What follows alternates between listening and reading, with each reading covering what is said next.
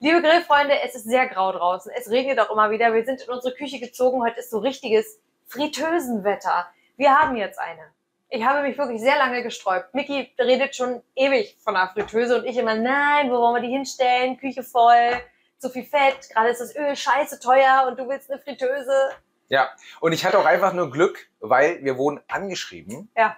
Und nur deswegen hat Lydia gesagt, ich darf eine haben. Nur durch Zufall, weil sonst hätten wir auch nie wieder darüber diskutiert. Ja. Ich habe vor einem Jahr schon aufgegeben, mit Lydia darüber zu Ja. sprechen. Und das war auch gut so. Ja. Und dann kam die Firma Prosenic um die Ecke und hat gesagt, ach, probiert die doch mal aus, die ist so toll.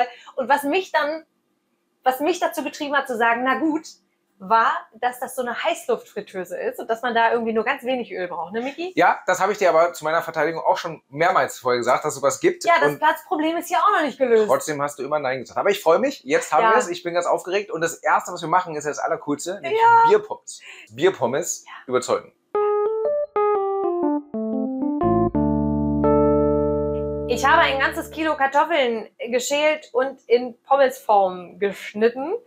Wir machen eine Hälfte Bierpommes, die andere Hälfte normale Pommes, weil unser Sohn, der ist ja immer sehr festgefahren und nicht besonders experimentierfreudig, der kriegt dann die normalen und ich will die auch kosten. Ich wollte gerade sagen, wir wollen doch auch testen, ob Bierpommes überhaupt Sinn machen. Ja. Ich meine, der Name ist schon cool. Aber Macht sowieso Sinn, aber Genau. wir, wir probieren es aus. Das heißt, ich mache jetzt ungefähr die, ungefähr die Hälfte. ungefähr die Hälfte hätte es auch getan. Nein, Lydia, okay, ich 500 mache genau 500 Gramm hier rein. 535 Gramm. Oh, Das da, geht nicht, ne? Das geht nicht.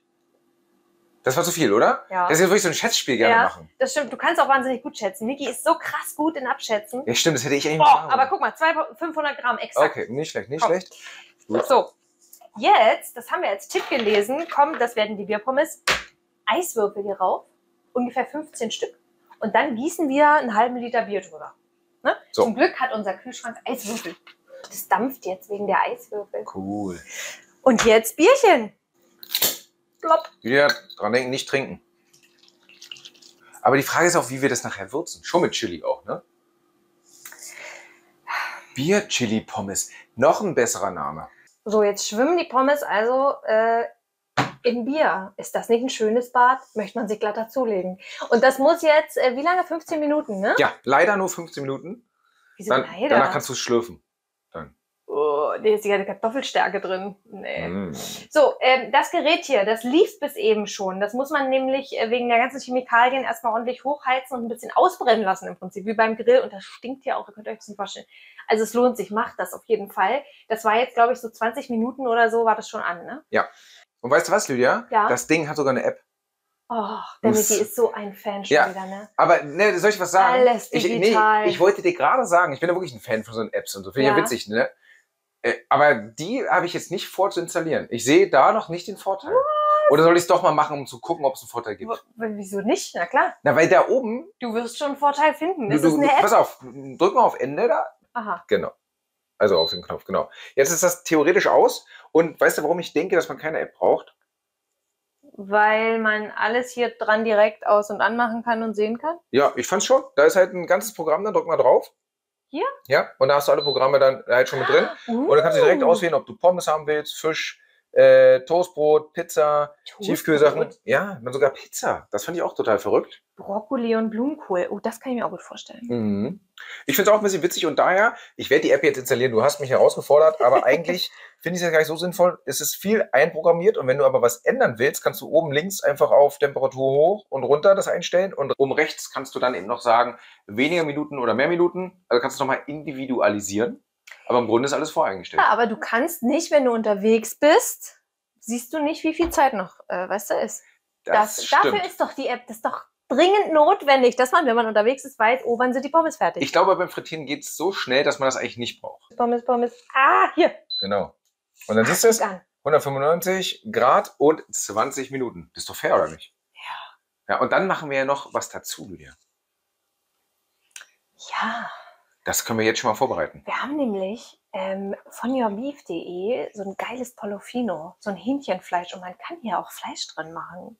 Ich Du sagst es so, als ob das so, Ja, so, so, so eine glaube, hey, krasse das ist Überraschung war. schon, wir gehen jetzt also nicht an den Grill, um uns ein schönes Stück Hähnchen zu machen, sondern sind hier in der Küche und machen so eine Wir Fritteuse. probieren es doch nur aus. Komm, das ist doch nur ein Versuch. Da kann es doch keiner für verurteilen, oder? Oder? Einmal draufdrücken, dann kannst du rausziehen. Ah, Genau. Und dann hast du hier unten so eine Schale drin. So, das Hähnchen bereiten wir schon mal vor. Pollofino, also das ist was ganz was Feines. Müsst ihr mal probieren. Das ist nämlich Keulenfleisch, also sehr saftig, aber ohne Knochen. So, Miggi, mach mir mal hier ein bisschen Rub drauf. Wie von Zauberhand ist der Rub drauf gelandet. Der Miggi, also er fragt ja öfter mal nach ihm, der wird in diesem Leben nicht mehr vor die Kamera treten. ich bin Aber- mir sicher. Aber Lydia, sag's doch ganz ehrlich, mich gibt's einfach überhaupt nicht. Du dre- drehst einfach auch alleine und hast nur so einen Stimmimitator, quasi, der nochmal drüber spricht und eigentlich bedienst du die Kamera selber. Genau. Nein, das ist natürlich nicht so. Wenn ihr ihn mal sehen wollt, da, unser Sohn hat ihn porträtiert. Das bin ich. Daran seht ihr ungefähr, wie, wie stark die Ähnlichkeit ist. Ja, wisst ihr Bescheid. Fünf Minuten Preheat-Programm, Aufheizphase läuft. Das ist fertig, das mach ich mal weg. Schwupp. Übrigens hat uns letztens jemand gefragt, ob wir Fleisch abwaschen, bevor wir das äh, weiterverarbeiten. Nein, das machen wir nicht, weil die Bakterien, die da möglicherweise dran sind, spritzen dann hier in der Küche rum mit dem Wasser und sind da, ohne irgendwie nochmal heiß mit kochendem Wasser weggespült zu werden. Und auf dem Grill oder in so einer Fritteuse wird alles abgetötet durch die Hitze. Da ist heiß genug. Und übrigens ähm, habe ich festgestellt, dass in so einem Sack Kartoffeln nicht nur ein Kilo drin ist. Es ist mehr. Ich habe gedacht, das sieht noch so viel aus hier in dem, in dem Sieb. Wir haben einmal nachgemessen. Also, wir haben jetzt den kleineren Teil zu Bierpommes gemacht, sagen wir mal so. Ich bin mir da nicht so ganz sicher, Lydia, weil du hast einfach das Gitter mit draufgestellt. Nee. Wir können das ja nachher mal messen. Ich sage dir, Ich glaube, es sind 1,5 Kilo in dem Netz. Lydia, wir machen eine kleine Wette.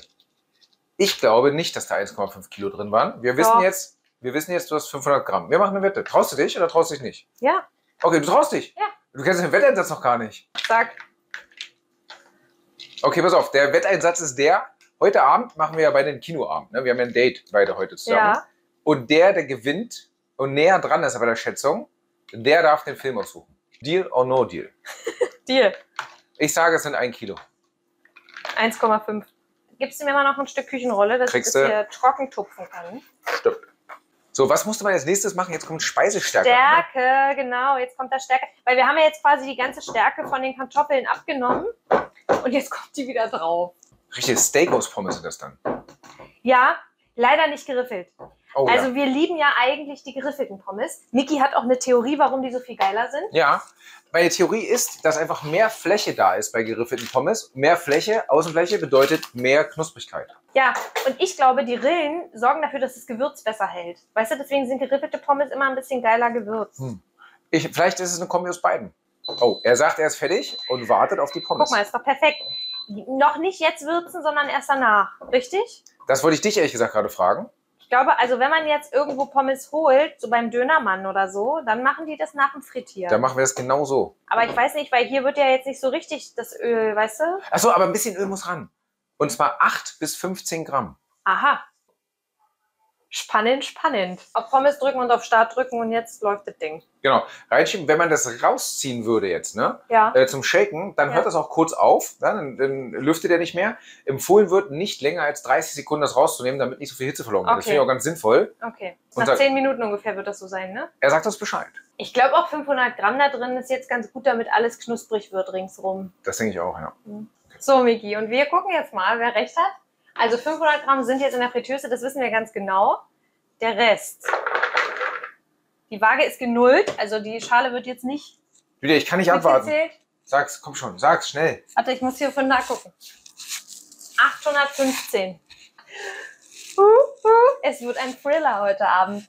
Ich mag gerne Psychothriller. Wahrscheinlich wird es so ein Film. Ich wollte eigentlich wirklich äh, einen richtig schönen Actionfilm mit dir gucken, wo es richtig Bums macht. Ja, sorry. Es hat gepiept gerade. Ich drücke jetzt hier drauf, ne? Ja, kannst du rausziehen und jetzt kannst du einfach shaken und schon mal gucken, wie es aussieht. Mega, die sind jetzt schon knusprig. Wieder auf Play drücken? Nee, Nee, der macht alles alleine dann. auf Play. Ihr wisst schon, was ich meine. Es hat wieder gepiept. Uh, 20 Minuten sind um. Hier steht End. Und jetzt nehme ich die raus. Miki, bist du bereit? Ich bin bereit. Wackel nochmal und guck mal. Und? Das ist richtig gut. Ja? Guck mal. Okay, das sieht schon mal sehr gut aus. Oder? Ja, krass. Muss das jetzt nicht eigentlich noch so auch nochmal abgetupft werden? Schon, Nee. ne? Nein, das machen die beim Döner auch nicht. Stimmt. Du hast recht. Stimmt, stimmt, stimmt. So, was haben wir denn jetzt für Gewürz hier? Salz einfach, oder? Ja, ich habe Trüffelsalz noch, wenn du magst. Nein, ich mag Trüffelsalz. Nee, Jetzt musst du da aber auch gut shaken, Lydia. natürlich. Ich tue es jetzt. Hm. Ja? Habe ich nicht, ich habe es nicht erwartet. Vicky? Ja. Also man muss wirklich darauf achten, dass die alle einzeln sind. Sobald da zwei zusammen sind, ist an der Stelle, wo die zusammen waren, ist es einfach noch zu feucht. Schade drum, wenn wir das Bier jetzt hier überlassen. Das heißt, wir machen nochmal eine Bierrunde, oder Miki? So nämlich. So machen wir das. Bevor du das aber machst, Lydia, äh, Fleisch. genau. Und ich Jetzt- leg das jetzt einfach hier unten Genau, so schön verteilen würde ich das eben. Und äh, glaube ich, Haut oben wäre beste Option. So, die ist darauf gefallen. Ich mache die mit rein. Die wird doppelt gemacht. Kennst du das? Pommes werden auch manchmal doppelt frittiert. Das checken wir jetzt. So. Ist das da ein Hähnchenkeule oder ist das ein Krabbenbein?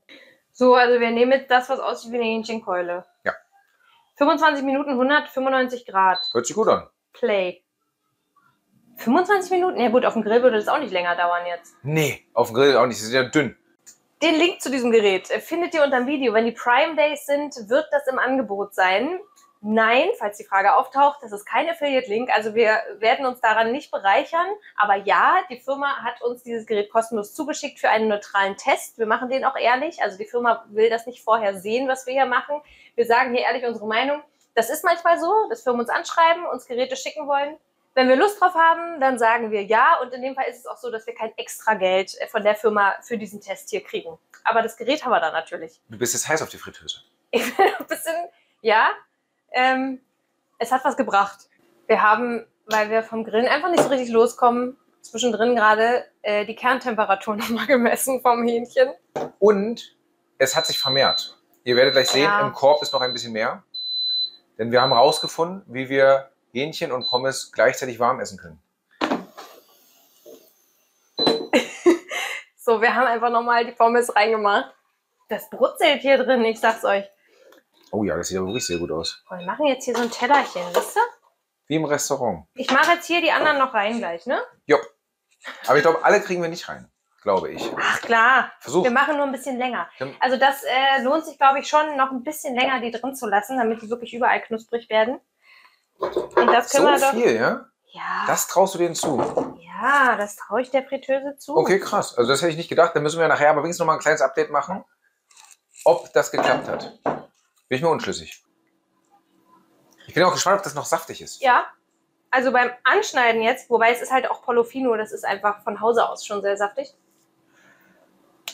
Weil es ist schon wirklich für Faule, ne? Das war jetzt schon super easy, ganze Mhm. Aktion. Und? Hörst du mal du, ich finde es super lecker. Oh, bestimmt heiß. Das ist super saftig. Ja, das ist wirklich richtig gut. Also Freunde, Da hast du die Kerntemperatur wirklich erreicht schon? Kannst du mal reinstecken? Ist ja so butterzart. 86. Ja, krass. Entweder liegt da am wunderbaren Polofino. Es wird beides sein. Es wird beides. Ich denke, es wird beides sein. Und es war gut, die Pommes nochmal reinzumachen. Also fünf Minuten mehr. Wunderbar. Diese Portion ist jetzt auch fertig. Miki hat das hier schon mal zum Zebra schon weg. Mache ich auch schon Schleichwerbung. Küchenkrepp. Es ist nicht mal zur Zebra. Es ist auf Küchenkrepp gelandet. So, und? Hast du schon gekostet? Ich habe schon gekostet. Schmecken ganz anders als die erste Runde. Ach, echt? Ja. Deutlich bierlastiger. Man muss sagen, wir haben es diesmal 20 Minuten oder 25 in der Bierlache gelassen. Deutlich bierlastiger. Richtig gut. Aber würdest du denen sagen, dass 820 Gramm da reinpassen? Oder sagst du lieber weniger? Nö, Ich finde, es passt. Okay. Man kann ja auch zweimal schütteln. Vielleicht ist Haben wir das gar gemacht. nicht so Haben wir gemacht. Genau. Und dafür ist doch, ich finde es super. Die sehen doch toll aus. Mm. Mega. Ja. Also, das war äh, sehr lecker. Ich muss gestehen, ja, das Platzproblem ist immer noch, aber oben auf dem Schrank, wo auch schon Waffeleisen, Entsafter und so Dinge halt gelandet sind, da wird die zwischengelagert, oder? Ja, und man muss auch eins sagen, Lydia, in der Bedienungsanleitung steht, man Mhm. soll die öfter nutzen, damit sie gebrauchsfähig bleibt. Und das werden wir machen. Da müssen wir uns halten. Also auch Gemüse wird in Zukunft Heißluft frittiert bei uns. Blumenkohl, Und Snickers. Brokkoli. Snickers? ja. Mars, äh, alles. Twix. Aber der schmilzt doch die Schokolade und tropft da unten rein. Stimmt. Das ist eine dumme Idee. Ja, da hast du recht. Habe ich nicht drüber nachgedacht. Also abonniert unseren Kanal. Eine Frau lernt Grillen für auch zukünftige Tests und äh, Grillvideos. Nächsten Sonntag kommt das nächste. Link zur Fritteuse, falls ihr euch dafür interessiert, unter dem Video. Und dann sehen wir uns beim nächsten Mal.